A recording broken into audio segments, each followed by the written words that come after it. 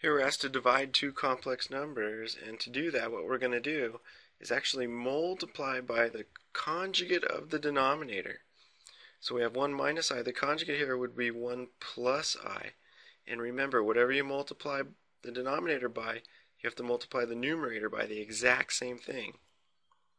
So multiplying by the conjugate here, in the numerator, I'll have to distribute. That leaves me with 5 plus 5i plus 7i plus 7i squared.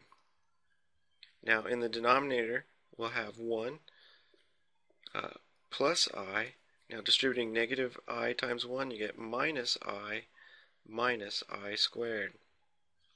When you multiply by the conjugate like that this middle term will always cancel. So I have a plus i and a minus i. Those add to 0.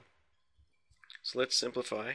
In the numerator I have 5 plus, well 5 plus 7i is 12i plus 7 times i squared. I'm going to replace that with negative 1.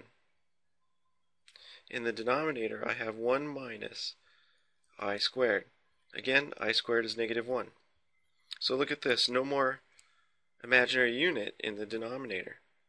That's sort of the goal.